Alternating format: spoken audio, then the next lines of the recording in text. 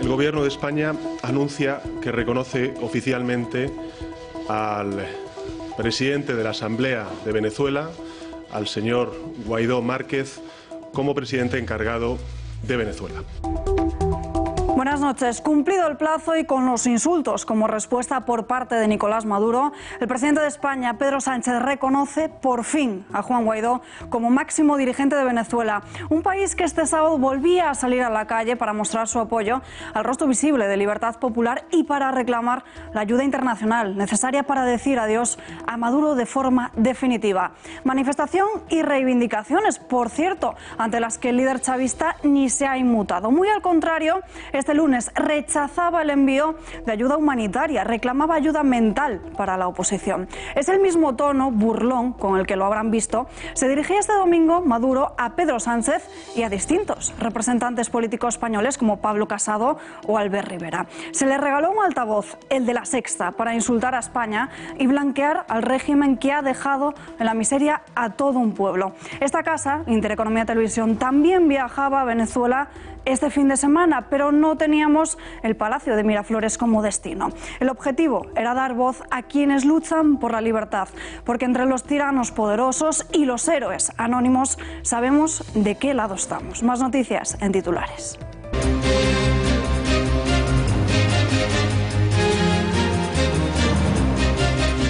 Las caras y celebridades más conocidas del cine español se reunieron este sábado en Sevilla, en la, gala, en la gala de los Goya, un evento con tintes de mitin político, declaraciones contra Vox, el rodillo feminista y con la petición de eliminar a Israel de Eurovisión. Pero también hubo momentos de emoción.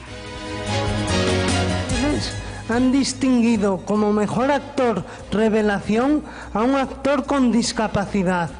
Ustedes no saben lo que han hecho. Me vienen a la cabeza tres palabras. Inclusión, diversidad, visibilidad. ¡Qué emoción! Muchísimas gracias. Comienza 2019 con mal pie en empleo. El, el, paro registra su peor dato desde enero de 2014, subiendo en 83.464 personas durante este primer mes del año. En total de parados registrados alcanza ya los 3.285.000. Mientras tanto, la afiliación a la seguridad social baja también que en el mes de enero el paro registrado aumentó en 83.464 personas. En total, la cifra de personas en paro registrado a 31 de enero de 2019 se sitúa en un total de 3.285.761 personas. Bloquea las cuentas de Sánchez pactadas con Podemos. Esquerra y PDCAT presentan una enmienda a la totalidad a los presupuestos generales del Estado. A menos de una semana del debate en la Cámara, los separatistas amenazan el futuro del gobierno de Pedro Sánchez. Piden gestos políticos. Solo darán un paso atrás si hay una mesa de negociación bilateral.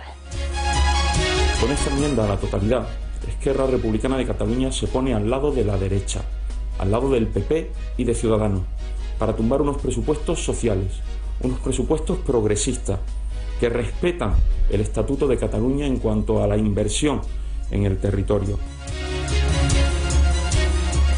Seis jóvenes menores inmigrantes magrebíes y ocupas han sido detenidos este domingo como sospechosos de haber violado a una joven de 18 años en una nave abandonada de la localidad barcelonesa de Sabadell. Tres de ellos serían los que habrían cometido la violación y los otros tres habrían asistido a ella sin mediar en ningún momento.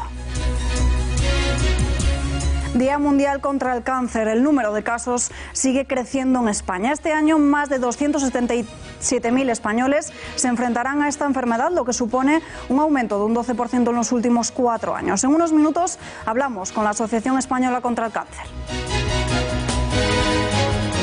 Hombres y mujeres perseguidos por su fe. Los últimos datos apuntan a que en el pasado 2018 se registraron más de 3.000 asesinatos por persecución religiosa y ataques a más de 700 iglesias. Al final de este informativo repasamos todas las cifras en nuestra habitual sección del Mundo en Guerra con Bruno Navarro.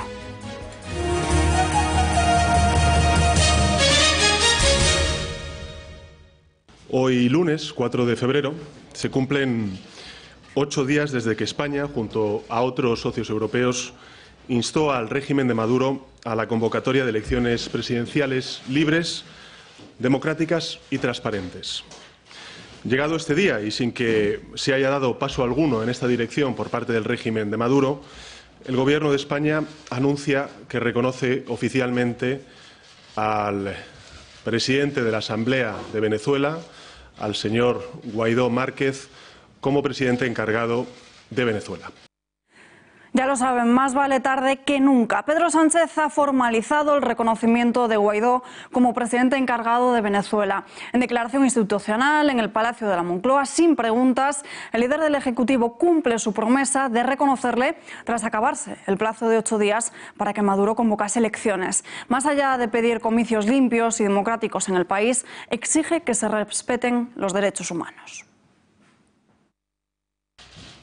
La legitimidad democrática de Juan Guaidó emana de su condición de presidente de la Asamblea Nacional de Venezuela, que el Gobierno de España ha hecho pública en reiteradas ocasiones su defensa del multilateralismo como una herramienta indispensable para la resolución pacífica de los conflictos. Y a partir de hoy seguiremos dedicando todo nuestro esfuerzo a la tarea de ayudar a alcanzar la libertad, la prosperidad y la concordia de todos los venezolanos.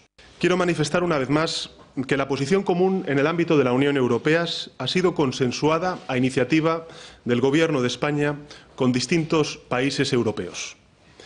En los próximos eh, días, en las próximas horas, contactaré con eh, las principales instituciones europeas y con los distintos gobiernos europeos y también iberoamericanos que quieran sumar esfuerzos a la causa de la democracia en Venezuela para desarrollar nuestra posición. El propio Guaidó ha dado las gracias a Pedro Sánchez públicamente a través de las redes sociales. En su cuenta personal de Twitter ha publicado el siguiente mensaje. Agradecemos al presidente Pedro Sánchez y a todo el gobierno español por su reconocimiento y su apoyo a nuestra ruta de lucha por la democracia. Gracias por su respeto y compromiso. Venezuela entera agradece este gesto y esta misma tarde Juan Guaidó hacía la siguiente petición. Es una ilusión que quiere hacer ver a un pequeño sector de la comunidad internacional para evitar un baño de sangre que ya están haciendo. El FAE asesinó a 70 personas en menos de una semana. Entonces, si quieres ayudar a detener un baño de sangre, hay que detener a la dictadura. Y estoy hablando de apenas una semana. A PP, Ciudadanos y Vox, este reconocimiento de Pedro Sánchez le sabe a poco. Creen que era lo que había que hacer, pero hace ya bastante tiempo. Es decir, que el gobierno llega mal y tarde. Al mismo tiempo que algunos pretenden expulsar a Maduro, en Podemos vuelven a situarse del lado del chavismo, calificando este movimiento de Sánchez de error y alertando de riesgo de violencia. Una posición ambigua que llega tarde, que demuestra falta de liderazgo y que no puedo dejar pasar la ocasión para calificar de deslealtad. Deslealtad porque eh, precisamente en un asunto como este, que debe ser un asunto eh, que afecta al conjunto de la política española, es la última vez, la última ocasión, la enésima eh, oportunidad que ha tenido Pedro Sánchez para no tratar de buscar consensos con el principal partido de la oposición. Ni la posición de la Unión Europea pues debería, debería ser la que es, debería ser pues apoyar una maniobra de, Donald Trump y del gobierno de Estados Unidos para hacerse con las principales reservas de petróleo de la, OPEC, eh, abriendo las puertas y tocando tambores de guerra, aunque pueda haber pues una confrontación armada en un país, en un país hermano como es, como es Venezuela. La inmensa mayoría del pueblo español ha obligado a Sánchez a rectificar. Pedimos que se marche el señor Maduro. Señor Maduro, márchese. Señor Maduro, se acabó. Señor Maduro, acabe con la tiranía, acabe con la violación de derechos humanos, que se acabe el hambre en Venezuela. Usted ya no es el presidente legítimo de Venezuela. Ni el pueblo venezolano ni la comunidad internacional le reconocen ya. como presidente.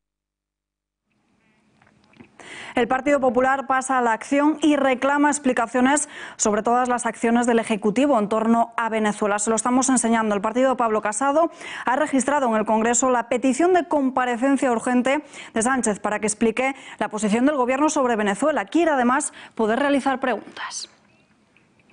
Mientras tanto, en el gobierno socialista sacan ahora pecho por reconocer a Guaidó como presidente, dos semanas después del momento en el que debería haberse hecho, apunta Margarita Robles al liderazgo de España en la Unión Europea al exigir urnas. Lo verdaderamente importante en esta materia de Venezuela es el liderazgo que España está llevando en la Unión Europea en todas estas cuestiones, en la defensa de unas elecciones libres y democráticas en Venezuela. Y yo quiero poner en valor ese trabajo de liderazgo del Gobierno de España en el marco de la Unión Europea. Después de enviar una carta al Papa pidiendo la ayuda, Madura ha respondido rápidamente a estas palabras del Gobierno. Responsabiliza a Sánchez de una posible intervención militar en el país y avisa, la historia le va a recordar como un pelele. Pero si algún día se concretara el golpe de Estado, si algún día se concretara una intervención militar gringa, sus manos, señor Pedro Sánchez, quedarán llenas de sangre, como quedaron las manos de José María Aznar en la guerra de Irak. Quedará manchado en sangre para siempre y la historia lo recordará como un pelele que se puso al servicio de la política guerrerista, intervencionista de Donald Trump. El follonero blanquea a Maduro en prime time. Una entrevista de Jordi Évole al tirano que se grabó el viernes en el Palacio de Miraflores y que algunos califican de homenaje. Y es que Évole, además de servirle de altavoz, le llama presidente. No le pregunta por las familias que mueren de hambre ni tampoco por los opositores que están en prisión. En las redes sociales se ha producido una oleada de vergüenza. Estos son los principales titulares.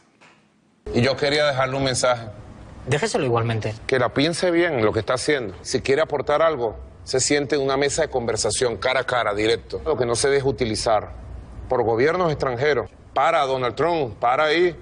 Estás cometiendo errores que te van a manchar de sangre las manos. Todo depende del nivel de locura y de agresividad del imperio del norte y de sus aliados de Occidente. Yo creo que nosotros somos víctimas de una campaña donde los Estados Unidos nos ha declarado ser el enemigo número uno a destrozar. ¿Descarta usted totalmente unas, las elecciones, una convocatoria de elecciones presidenciales? Las elecciones presidenciales se hicieron. Pedro Sánchez es un farsante, cometiste un error y te va a ir peor que Aznar cuando se metió en Irak. Peor que Aznar. Ojalá no te manches las manos de sangre junto a Trump. Y mientras otros prefieren servir de plataforma desde el Palacio de Miraflores, aquí en Intereconomía hemos preferido quedarnos al lado de los venezolanos, a pie de calle. Nuestro compañero Caque Minuesa ha volado hasta Venezuela para hablar con los ciudadanos y con el propio presidente, con Juan Guaidó. Hola amigos, estamos en Venezuela, hemos venido a apoyar la gran manifestación y todos luchando por el fin del chavismo aquí, en Caracas.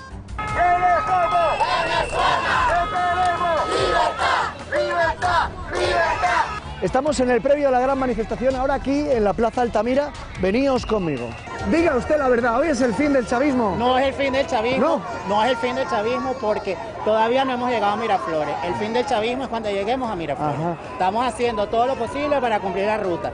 Cese de la usurpación, gobierno de transición y elecciones libres. Les voy a decir que hagan sus maletas porque les queda poquito, muy poco. Esto está caído, esto se acabó estamos felices. Estamos felices porque vemos que viene por fin ya el cambio. El cambio está. Se acaba ya esto, ya está listo. Hoy es el día de la defunción oficial del chavismo. Hoy se muere el chavismo. Ajá. No quiero huevo, no quiero crack, yo quiero que se vaya Nicolás. Pues seguimos, seguimos recorriendo lo que es el día del fin del chavismo aquí en Venezuela, en Caracas. lo están pidiendo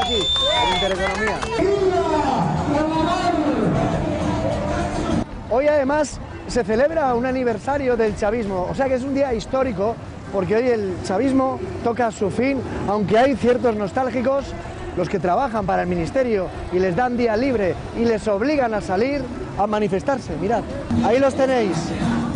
En el cartel, Hugo Chávez, y Maduro y con el puño arriba han cortado el tráfico porque así se lo permiten aquí las autoridades. Y si os fijáis, disimuladamente vamos a girar a la derecha, vamos a dar la vuelta y vais a ver aquí a la policía, a la policía que luego reprimirá las manifestaciones.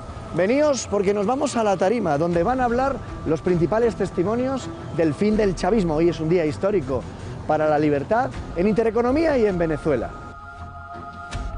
Cuando te digan en España que en Venezuela se come muchas veces al día, cuando te digan en España que el chavismo es bueno, cuando te digan en España que Zapatero lo está haciendo bien, mira las declaraciones que tenemos, mira a la gente en Venezuela y mira lo que es el fracaso del chavismo. Esto es lo que grita el pueblo venezolano. Asesinos. Bueno, este es el principio del fin del chavismo. Te veo feliz.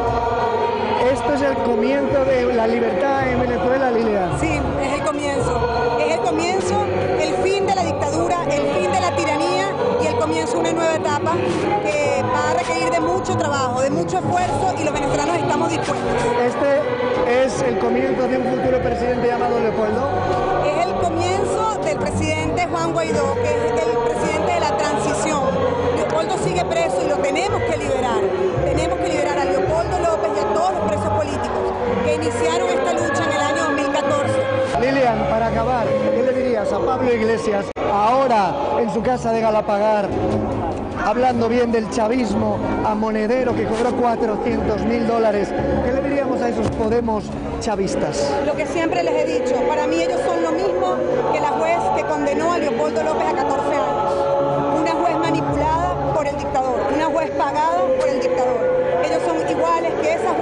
Condenó a Leopoldo. Y el llamado es a que recapaciten.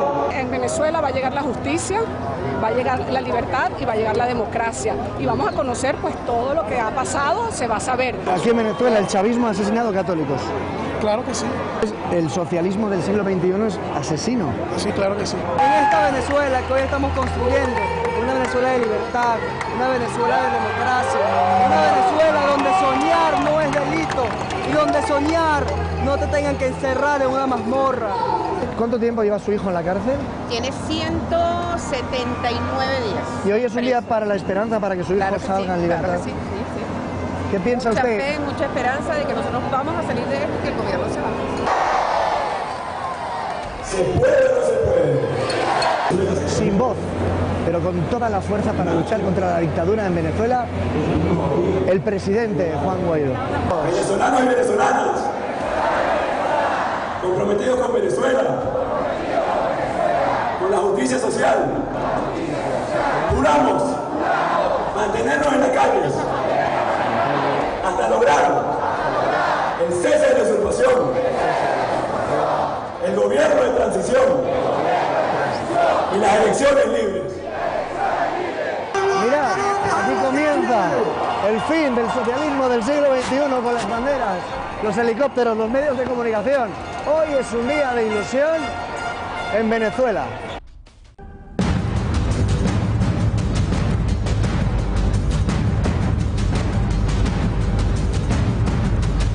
Presidente, ¿qué necesita Venezuela de España? ¿Qué necesita de los españoles? ¿Qué necesita del gobierno español?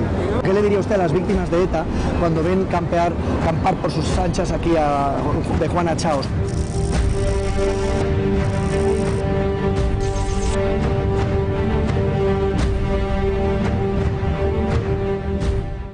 Y desde Venezuela hasta nuestro plato, Kake Minuesa, muy buenas noches. Buenas noches, recién aterrizado y afeitado y aquí. Bueno, eso que veíamos era un pequeño adelanto del material inédito que veremos esta noche en El Gato al Agua.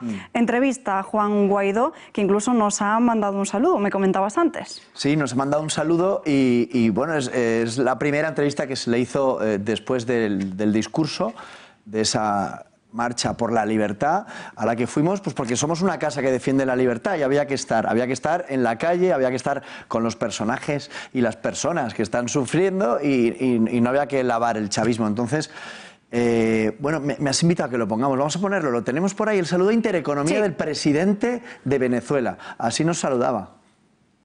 ¿Tienes miedo? ¿No tienes miedo? No, aquí. No tener miedo. No. Muy bien, gracias. El presidente de Venezuela. Gracias. Ese era el saludo, tú has estado allí. ¿Cómo has vivido? ¿Cómo era ese ambiente? Bueno, el, el ambiente es de ilusión, porque el llamado Obama latino, este pre- presidente Juan Guaidó, que está siendo reconocido tarde y mal por nuestro gobierno, pero, que- pero que todo el mundo ya lo da, lo da por hecho, ilusiona, ilusiona. Hay quien dice que será Leopoldo López el presidente, pero bueno, van, tienen muy claro tanto Capriles, tanto Lilian, tanto Leopoldo, que, que ahora hay que apoyar a, a Juan Guai- Guaidó. Entonces, el ambiente es de ilusión. Está el pueblo ilusionado porque si no se gana esta batalla a la dictadura, se convertirá en una segunda Cuba y nos iremos a una nueva eh, dictadura mm, pues que puede durar, no, no sé qué cantidad de años. Lo que sí que sé es que la población a partir de entonces se iría desesperada, porque en el aeropuerto de vuelta, Alba, la gente tiene maletas y dice que se va de vacaciones mm, 15 días, pero tienen maletas para irse y no volver. Entonces, eh, se vive con ilusión porque todo lo contrario sería el fin de Venezuela como democracia, claro. Pues Caque, te vemos esta noche en El Gato al Agua. Muy Gracias. bien, ahí lo contamos, gracias.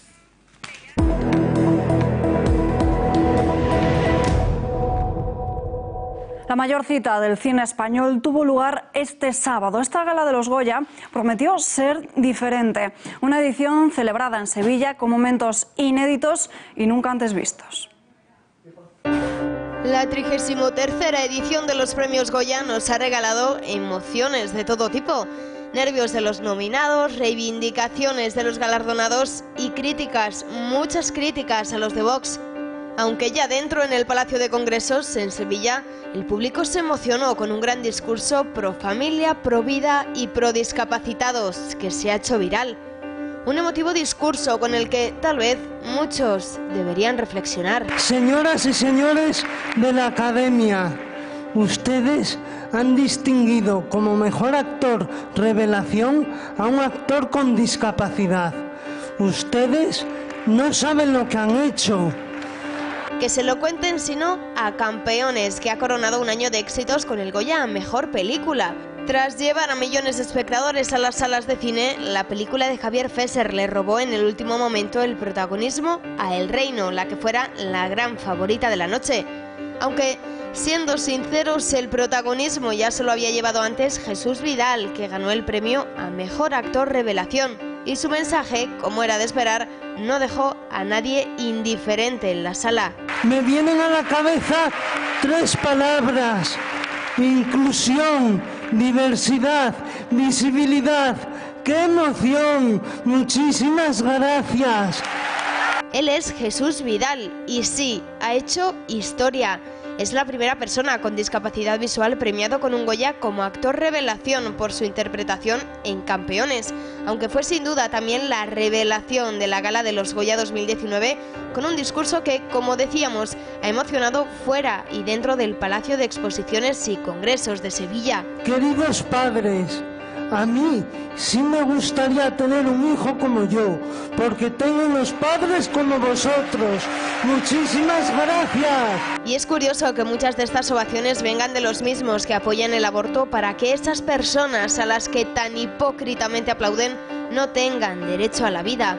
En las redes sociales que no tardaron en hacerse eco de la incoherencia de la izquierda, se ha difundido una reveladora viñeta. Una ilustración que tal vez a muchos ya les ha hecho reflexionar. Y esta misma tarde, el presidente de la Asociación de Síndrome de Down de España entraba en directo en la redacción abierta de la tarde de Javi Torres y decía lo siguiente, ya comentaba que ya se había pedido retirar esta discapacidad con un motivo para abortar. Sobre todo que lo que se está utilizando es el factor discapacidad dentro, dentro de la regulación del aborto. Es decir, eh, hay que recordar a todos los que nos escuchen que España, que se ha significado firmando la Convención de Derechos, tiene una petición expresa de Naciones Unidas para que se elimine eh, el aborto por discapacidad. Es decir, la condición de discapacidad no puede ser objeto de, de regulación de aborto, porque es un ataque, es una vulneración a los derechos humanos, a la dignidad intrínseca a cualquier persona con discapacidad. Una gala de los Goya que, como estaba previsto, dejó en no pocas ocasiones el cine a un lado para hacer política, pero que este año regalaba a los espectadores ese discurso impagable de Jesús Vidal. Editorial con Rosa Cuervas Mons.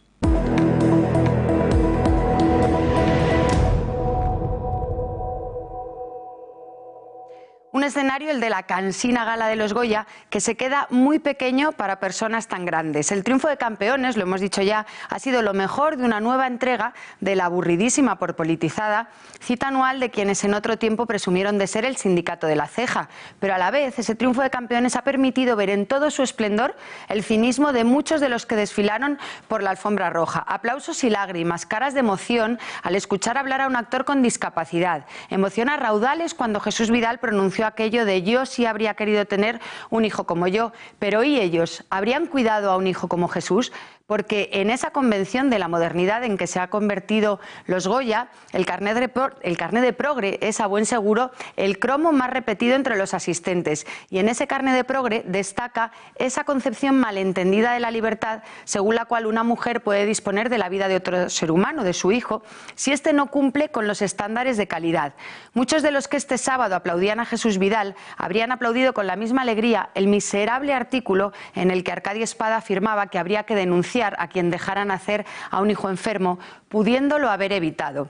Los cínicos volverán el año que viene a la alfombra roja de los Goya. Los campeones no, pero se quedarán para siempre en el corazón de los millones de españoles que compraron una entrada para ver por fin una buena sesión de cine español. Parece que el discurso de Jesús Vidal ha sido de las pocas cosas que se ha salvado de esta gala de los Goya, un evento que pareció cubrirse con tintes de mitin político, sumándose al cordón sanitario contra Vox, un partido que a pesar de no haber sido invitado fue protagonista de algunas de las declaraciones. Yo, ¿sabes lo que pasa? Es que con, con ese partido que tiene solo tres letras al que tú aludes, yo he decidido particularmente no hablar de él ni nombrarlo y me gustaría además también que, que algunos más lo hicierais. Eh, por, o sea que no sé de lo que me preguntas. No, les niego la existencia. Alguien que, no sé, que desde una tribuna está legitimando discursos del odio, discursos homófobos, machistas, pues no me haría mucha ilusión que vinieran a una fiesta de cultura. El guionista Borja Coveaga, nominado al Goya al mejor guion adaptado por Super López, respondió a la sugerencia de Vox a la Academia del Cine para que se hiciese una película sobre Blas de Lezo. Coveaga dice que no escribe el guion sobre el tema, simple y sencillamente por la siguiente razón. Escuchen. Porque, porque no te da puta gana. O sea, eh, eh, últimamente el cine se basa en las expectativas de los fans o de lo que sea. O sea, nosotros escribimos, eh, queremos escribir lo que nos dé la gana. Y si Vox quiere que hagamos una historia sobre ese conquistador de mediado, pues que la hagan ellos y que pida la subvención al ICA. Y la formación de Santiago Bascal no se ha quedado callada. Ha respondido por las redes sociales de la siguiente forma las mismas ganas que tienen los españoles de pagar las subvenciones a vuestros bodrios de películas. Que Vox es un fenómeno ya casi nadie se atreve a negarlo, incluso fuera de nuestras fronteras. En una entrevista al diario ABC, el que fuera asesor del presidente Donald Trump habla de la formación de Santiago Bascal de esta manera, como partido ilusionante. Hay quienes menosprecian a un partido como Vox porque es pequeño y creo que se equivocan. El poder está en su mensaje, en su autenticidad. Esas ideas comenzarán a entrar en el debate político convencional y acabarán empujando a los partidos centristas a la derecha. Pero no solo contra las filas de Santiago Bascal, también contra el Estado de Israel para que no vaya a Eurovisión. Una petición de los ganadores a mejor cortometraje con el documental Gaza. Palabras de las que ya se ha hecho eco la Federación de Comunidades Judías de España, que lo califica de discurso de odio subvencionado, que no contribuye a la paz. Para los que están y para los que nos ha arrebatado el terrorismo sionista. Yo creo que desde el mundo de la cultura podemos hacer muchas cosas, pero la primera es no legitimar países que vulneran sistemáticamente los derechos humanos. Y para eso.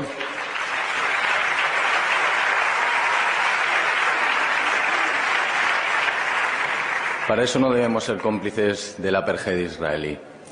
Israel en Eurovisión, no, por favor. Viva la lucha del pueblo palestino. También intentó imponerse sobre el escenario el rodillo feminista, en forma de abanico, de estilismo y también de discurso. Eva Llorat se ha atrevido a decir incluso que ser mujer en España es complicado. A ver, tengo una fantasía loca cuando, me, di- cuando supe que iba a estar, cuando supe que estaba nominada, que podía estar aquí, tengo una fantasía loca y es hacerme, lo siento, un Frances McDormand. Entonces, Igual no queréis, pero yo quiero pedir a todas las nominadas que se pongan en pie, por favor. Si no queréis, no pasa nada desde aquí. Eh, Frances se lo pidió a Meryl, yo te lo pido a ti, Penélope. Si te quieres levantar, te levantas. Solo quiero que os levantéis todas, porque quiero compartir mi premio con vosotras. Quiero compartirlo, joder, con vosotras. En serio. Porque es muy difícil ser mujer. Sois muy pocas, sois muy pocas. Vuelve la violencia de los mal llamados comités de defensa de la República. Los CDR han vuelto a tirar excrementos y basura en las puertas de varios juzgados catalanes como acción de protesta para criticar el sistema judicial. Y por el inicio del juicio a los líderes del proceso separatista previsto para el 12 de febrero. Ataques en la ciudad de la justicia de Barcelona, en los juzgados de Vic, en Mataró y un largo etcétera hasta sumar una veintena de juzgados catalanes. En algunos de los edificios judiciales también se han hecho pintadas contra la justicia. Se ha lanzado pintura amarilla y se han pintado lazos de este mismo tono en las paredes. Y en plena polémica por el juicio del procés, por la guerra interna entre los separatistas cada vez más evidente, Kim Torra plantea convocar elecciones. Informaciones que publica Crónica Global. Según el medio, el presidente está desesperado porque cualquier maniobra que quiere llevar a cabo termina siendo paralizada. Es por ello que Torra quiere urnas, pero la consejera de presidencia, el Sartadi, y el vicepresidente Per Aragonés han frenado en al menos dos ocasiones en los últimos meses su voluntad de comicios. La manipulación catalanista de la historia de España en los libros de texto llega a Valencia. Tras los casos registrados en Cataluña, Baleares y Aragón, ahora le toca a la comunidad que dirige el socialista Chimo Puig. Pepe García Saavedra, redacción de informativos. Buenas noches. Muy buenas noches, Alba. Es lo que se desprende de la investigación encargada por Ciudadanos al profesor Julián Ruiz Bravo. El filólogo ha detectado estas manipulaciones en al menos dos libros de texto de primero de bachillerato que se utilizan en institutos de Valencia. Las manipulaciones van desde eliminar cualquier acepción relativa a la monarquía española, los reyes de España o el rey de las Españas, creando una acepción que no existía en la época, la de monarquía hispánica. Todo ello para quitar cualquier connotación política a los términos España o español. Los libros también limitan el contenido medieval de Valencia y lo circunscriben toda Cataluña y el catalán, eliminando cualquier rastro del- de Aragón o de la lengua aragonesa. Además, dicen que la corona de Aragón se creó a iniciativa de Cataluña. Todas estas manipulaciones detectadas por el filólogo ya han sido remitidas a la alta inspección del Estado de Educación para que sean investigadas. Pepe, gracias. Si el separatismo bloquea los presupuestos de Pedro Sánchez, Esquerra, al que luego se ha unido el PDCAT, ha presentado una enmienda a la totalidad al proyecto de cuentas para este 2019. Tan solo queda una semana para que estos presupuestos lleguen a la Cámara y se produzca el debate, pero los republicanos ponen contra las cuerdas a Moncloa, avisando de que esta posición continuará así de firme si el Gobierno no realiza gestos a favor de los independentistas, aunque eso sí, dejan la puerta abierta a retirar la enmienda si se constituye una mesa de negociación bilateral de partidos soberanistas con la presencia de un mediador para resolver la cuestión catalana. Anunciamos y decimos no a los presupuestos generales del Estado, a los presupuestos de, Pedro Sánchez. Por esto hemos formalizado, hemos decidido formalizar una enmienda a la totalidad a estos presupuestos generales del Estado que mañana presentaremos de manera formal en el Congreso de los Diputados.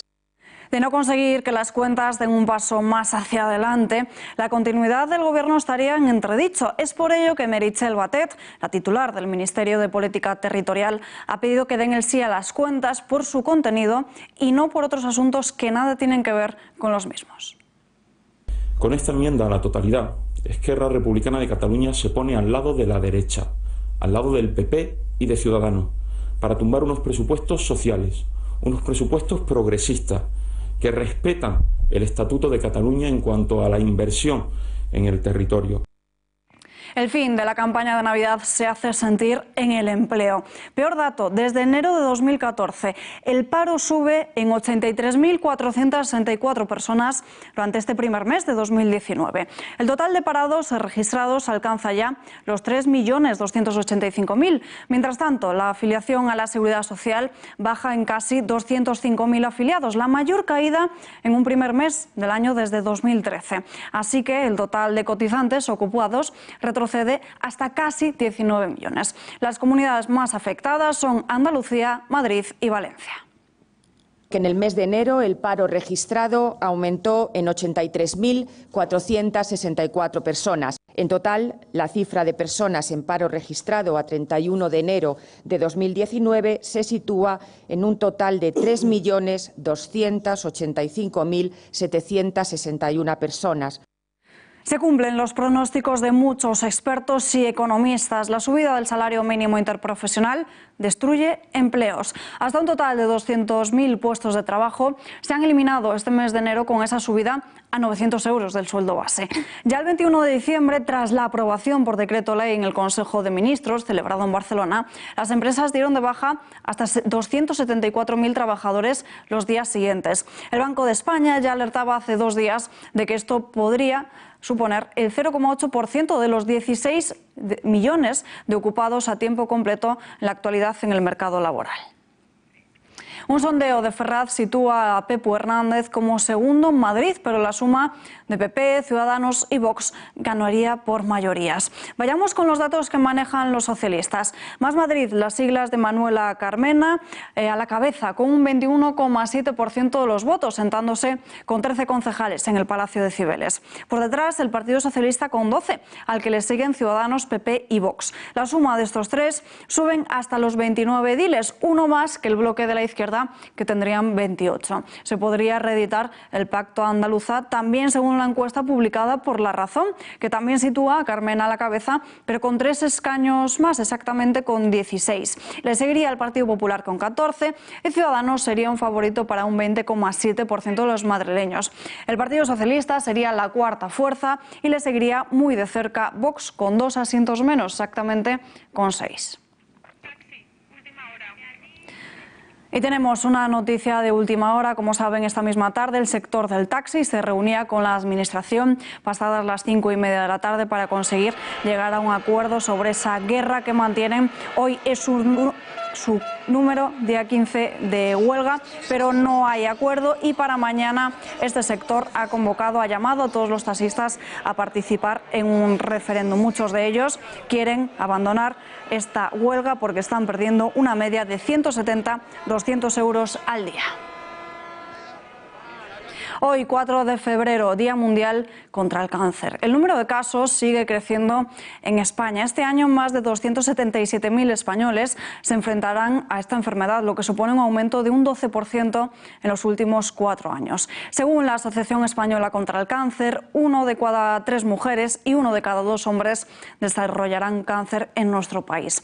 Gracias a la investigación, la supervivencia en cáncer se ha incrementado un 20% durante los últimos 20 años gracias al desarrollo de nuevas herramientas de diagnóstico precoz y tratamientos más específicos y eficaces. Y hablamos ya con Vanessa Jorge, psicooncóloga de la Asociación Española contra el Cáncer. Tenemos conexión en directo con ella. Señora Jorge, muy buenas noches. Hola, buenas noches. En los últimos cuatro años el número de casos ha crecido hasta un 12%. ¿Por qué se ha producido este repunte de casos? Bueno, lo cierto es que eh, cada vez se diagnostican más casos, una parte eh, por el diagnóstico precoz, que es eh, bueno, llegar a tiempo a la enfermedad o, llegar de una manera mucho más temprana de lo que se podía hacer antes. ¿no? Todos los avances, todas las pruebas de cribado que se ponen en marcha en la población general hace que se identifiquen un número mayor de casos de una manera mucho más temprana carga genética pesa y si algún familiar directo ha padecido cáncer, tenemos más riesgo o esto es un mito? Eh, lo cierto es que la mayoría de los tumores eh, se deben a factores externos como puedan ser la alimentación, el ejercicio físico, el consumo de tabaco, alcohol, entre otros. Eh, la carga genética tiene pues, un menor peso dentro de todos los diagnósticos que hay, que suelen ser entre un 5 y un 10% de todos los tumores que se diagnostican. pero sí que es cierto que cuando aparece esta carga hereditaria, que, que se analiza y se estudian las unidades familiares dentro de las de consejo genético, ¿no? Eh, es cierto que tiene un peso importante y ahí sí que se, eh, determina el riesgo que puede tener una persona a la hora de diagnosticar un cáncer. Pero va a depender siempre de, como digo, de, esta, de este consejo genético, de este estudio genético que se haga para determinados tumores. No son todos los que entrarían dentro de, la carga hereditaria, pero sí que algunos pueden tenerla y si aparece es verdad que, que aumenta el riesgo de tener eh, un cáncer. ¿Cuál es el cáncer más frecuente en nuestro país? Pues en la población española en general el, cáncer más frecuente es el de colon. Eh, luego es cierto que dentro de las mujeres, mujeres occidentales, el tumor más frecuente es el de mama. Como psicooncóloga, ¿cómo ayuda a alguien a enfrentarse a un diagnóstico de cáncer? ¿Cómo pueden ayudar sus familiares y las personas más cercanas?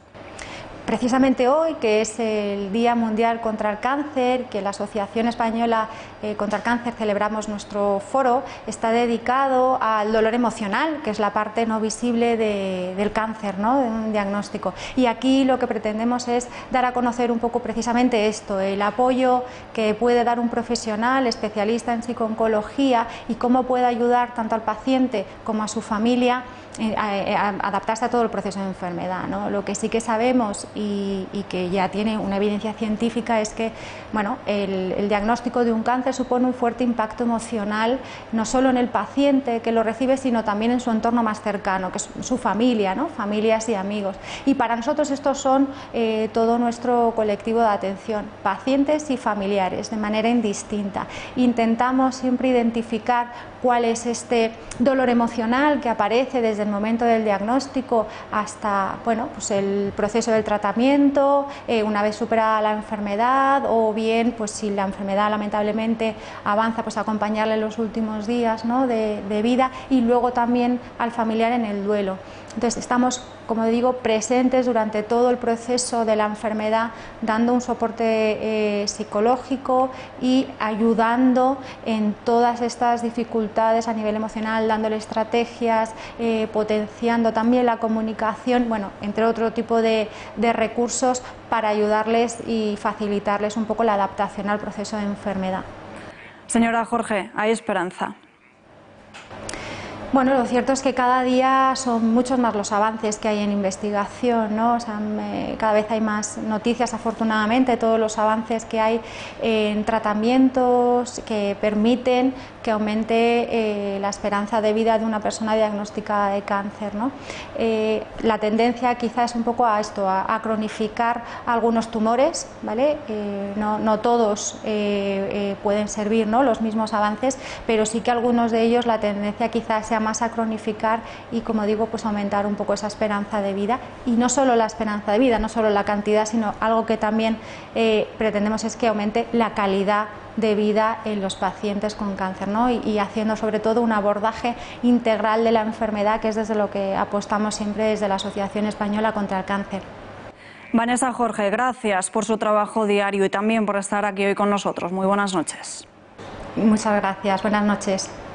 Lo que muchos medios de comunicación hoy callan y silencian. Seis jóvenes, menores, inmigrantes y magrebíes y ocupas han sido detenidos este domingo como sospechosos de haber violado a una joven de 18 años en una nave abandonada de la localidad barcelonesa de Sabadell. Sería precisamente en esta nave abandonada de Canfeu donde vivían y desde que la joven habría logrado huir a pie, siendo ayudada por una pareja que iba en coche que la llevó hasta la policía.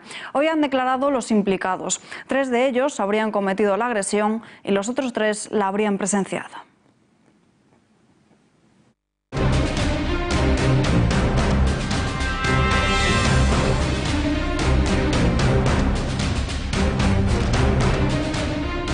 Abrimos nuestra habitual sección del mundo en guerra con el militar en excedencia, analista en seguridad y defensa, Bruno Navarro. Bruno, muy buenas noches. Buenas noches, Alba. Hombres y mujeres perseguidos por su fe parece cosa del pasado, pero ocurre hoy mismo. Según los últimos datos, en 2018 se registraron más de 3.000 asesinatos por causas directamente relacionadas con la fe y más de 700 ataques a iglesias o propiedades de la misma. Sí, decías que, que, que, sería propio de otros tiempos, ¿no? Y es verdad, sería propio de, de las persecuciones eh, de los cristianos por parte de los romanos, ¿no? Eh, y hablamos de cristianos, hablamos de cristianos porque si bien no son los únicos perseguidos en el mundo, sí que es la religión eh, más perseguida actualmente en el mundo, por lo tanto es, es importante dejarlo claro. En realidad las cifras totales que has mencionado son incluso peores. Cuando hablamos de cifras totales hablamos ya 4.136 asesinados en 2018 eh, por ser cristianos, lo que hace que haya además 245 millones de cristianos perseguidos, que se dice pronto, 245 millones de cristianos perseguidos en el mundo, lo que hace que uno de cada nueve cristianos en el mundo esté perseguido. Si nos fuéramos a África sería uno de cada seis y en Asia uno de cada tres cristianos está perseguido por su fe. Y lejos de disminuir, Bruno, también eh, las cifras van a aumento. De un solo año a otro han pasado de poco más de 1.200 a más de 3.000. Además, si volvemos a las cifras, a las cifras totales, eh, el año pasado estábamos hablando, ya, ya llegaba a, más de 3.000, ya superaba los 3.000, y este año ha superado los 4.000, hemos dicho 4.136, luego de un año a otro hay mil y pico asesinados, cristianos asesinados por su fe, más, que también se dice muy pronto. El número de países donde se persigue el cristianismo a un nivel alto, está considerado en este estudio que había 60 países el año pasado con persecución alta, este año ya son 73 países con eh, persecución alta. ¿no? ¿Cuáles serían las causas de, este aumento progresivo y continuo en los últimos años? Por un lado, el mayor enconamiento de los islamistas. Eh, eh, casi diría saña contra los cristianos en todos los lugares donde pueden eh, eh, caer bajo su, bota. de hecho, la, inmensa mayoría de los prácticamente todos los países donde hay una persecución extrema a los cristianos son islámicos. Habría un par de excepciones, por un lado China y Corea del Norte, eh, donde la persecución la producen los comunistas, y la India, donde la persecución la producen los indios. El, los hindúes. El resto de países donde hay una persecución alta o extrema son básicamente países musulmanes y es por lo que hemos hecho un, mayor enconamiento. Y por otro es un aumento de la violencia, ya en este caso de este año, el aumento de la violencia anticristiana en Nigeria. Y hablando de países y concretamente de Nigeria, que es uno de los más afectados, con un tercio de los asesinatos. Pero, ¿qué es lo que ocurre allí? ¿Cuál es la realidad del país africano? Pues si hemos dicho que hay 4.200 redondeando, es muy, muy, triste tener que redondear cuando estamos hablando de que cada, cada, cada víctima, cada número, cada dígito es una, es una muerte, ¿no? Pero de esos más o menos 4.200 um, de 2018, eh, 3.400 fueron en Nigeria. Por eso digo que es una de las causas del repunte en, en, Nigeria. ¿no?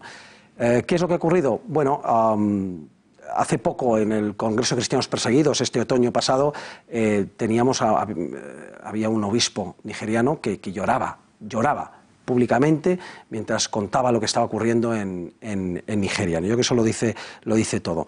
Es un país con 196 millones de habitantes de los cuales 91 millones son cristianos, no son la mitad, pero casi. Y uno podría decir que, bueno, en un país donde hay una relativa, hay una, hay una casi una media de cristianos, una mitad de cristianos, no deberían estar sometidos, pero sí lo están, están absolutamente sometidos al, a un régimen islamista.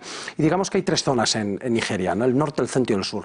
En el norte hay una persecución feroz, es el grueso de estos asesinatos, de estos 3.400 asesinatos, ha sido en el norte, donde están perseguidos por Boko Haram, que todos conocemos a ese terrible grupo eh, terrorista yihadista vinculado al Estado Islámico. Y, pero también hay una persecución y asesinatos porque en los 12 estados del norte rige la Sharia, la ley islámica, y hay una persecución en el día a día, en todos los órdenes, porque están los cristianos sometidos y perseguidos eh, por ello. No solamente es Boko Haram quien les mata. En el centro del país y cada vez más hacia el sur, los, ganadores, los ganaderos musulmanes fulani también persiguen y matan a, a los cristianos. Y el único lugar donde hay una técnicamente una libertad real eh, religiosa es en, el, es en, el, sur, donde tienen mayoría eh, absoluta los cristianos, son mayoría, ¿no? pero a la vez, como hemos dicho, están sometidos a un Estado musulmán que les priva de lo más mínimo y un Estado además muy corrupto que les priva de lo más mínimo y que les persiga y cuando protestan se llega al eh, asesinato de esos, de esos cristianos. Y a fin de cuentas, en todo Nigeria, sea norte, centro sur, lo que prima es una educación basada en eh, el insulto y el ataque a los cristianos. Con lo cual, al final, pues los niños eso es lo que les enseña, ¿no? Y al final, cuando son mayores, eso es lo que hacen. Y de Nigeria, Bruno, nos vamos ahora hasta Canadá, porque los, varios medios de comunicación apuntan a que allí se encuentra a salvo la cristiana pakistaní Asia Bibi, condenada a, a muerte por un delito de blasfemia que ella niega. Solo la prensa internacional ha conseguido salvarla. Sí, ella, ella lo negó, lo negó, y, pero no solamente ella, por dos veces los tribunales pakistaníes le han dado la, la razón, ¿no? Eh, es grave eh, que, se, haya, que, haya, una pena de muerte por blasfemia. ¿no? Aquí en España siempre estamos diciendo que queremos una protección de los sentimientos religiosos y que, se persiga eh, esos delitos de odio contra los cristianos, pero tampoco estamos hablando de que esas blasfemias tengan que suponer la pena de muerte. Sin embargo, cuando hay pena de muerte contra un cristiano por supuestas blasfemias contra el Islam, naturalmente aquí todo el mundo se calla y no pasa nada. ¿no? Son pocas las voces las voces que en España han, estado eh, eh, gritando que Asia viviera inocente y que sobre todo fuera o no inocente del delito de familia había que salvarla, ¿no? Pero además es que ha sido falso, ¿no? no había testigos y el único, el único, el, acusador era un religioso musulmán que decía que le habían dicho que había oído que alguien, por Dios, y esa fue la, la sentencia condenatoria que posteriormente en dos veces, ¿no? el 29 de enero, hace seis días, se ha desestimado el recurso de apelación contra la absolución que ya se había producido en, noviembre. ¿no? Por lo tanto, técnicamente es verdad que está en libertad, pero no la pueden soltar a la calle porque la van a matar. Luego, lo más, eh, lo más probable era que se instalara en otro país. ¿En cuál? Pues algunos países que habían ofrecido asilo, uno de ellos era, Canadá, y ahora mismo hay informaciones contradictorias. en determinados eh, ambientes o medios se está diciendo que estaría ya en Canadá con su familia y en otros que todavía no ha salido del país. En todo caso, eso tampoco es malo, que haya esta incertidumbre, porque es seguro que es por su seguridad. Cuanto menos se sepa, hasta que realmente pueda estar a salvo, eh, mejor. Lejos de esta terrible realidad que se vive en países como países africanos o asiáticos, Europa tampoco se libra de la persecución por causa de fe y sobre todo no se libra en ataques en nombre de la fe, del Islam en este caso. Sí, yo diferenciaría, ya lo hemos dicho alguna vez en esta casa, eh, dos aspectos. Por un lado, los ataques yihadistas musulmanes eh, de inmigrantes, sean de primera generación o de segunda o tercera, eh, el, último, no el último, pero el último de, mayor de nombre sería en el mercado de Navidad de Estrasburgo, eh, estas pasadas Navidades. Y es, es, un continuo, es un continuo objetivo permanente, no es el único objetivo de los yihadistas, pero un objetivo permanente es en Europa son los cristianos. ¿no? Eh, pero también hay un secularismo, casi diría que es todavía peor, ese secularismo agresivo, eh, pernicioso contra los valores cristianos, que lo que supone es un aumento de la persecución religiosa. ¿En, cómo? Pues un aumento de la persecución en la educación en las normas, en las leyes eh, de educación, en la libertad de los padres, en la misma vida eclesial. Eh, hoy ocurre algo que era impensable hace unos años y es que vas a misa un domingo y te pueden salir eh, unas señoritas desnudas de cintura para arriba gritando eslóganes, haciendo pintadas, anclándose al, a, un crucifijo, etcétera, cosa que eso era, como he dicho, impensable hace, hace unos años. O incluso la colocación de artefactos explosivos en iglesias, basílicas y catedrales por parte generalmente de células de izquierda radical. ¿no? Pues todo esto no va sino en aumento. Pues Bruno Navarro, muchísimas gracias por estar aquí con nosotros. Muy buenas noches. Buenas noches a. Y antes de despedirnos, mostrarles un vídeo que se ha hecho viral en las redes sociales, provocando que más de uno tengamos que coger un pañuelo para secar la lagrimita. En él, una pareja de recién casados emociona por su historia y el gran gesto de él. El novio sufrió un grave accidente en 2014 y pidió la capacidad de caminar. Un motociclista lo atropelló y desde entonces quedó paralítico. El día de su boda, dos de los invitados a la ceremonia, concretamente lo están viendo en sus pantallas, su padre y su hermano se acercaron y le sirvieron de apoyo para que éste pudiese realizar el baile nupcial con su mujer.